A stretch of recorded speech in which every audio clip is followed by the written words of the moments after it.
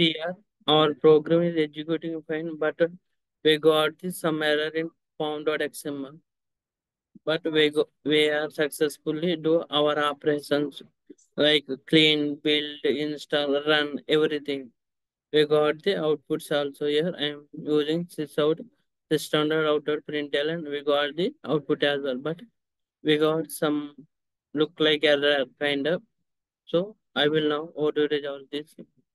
Windows preferences, Windows preferences. When open here, see here, can select this one, download artifact, Java docs and download repository index, updates and startup, apply, apply close. See, these are the gone.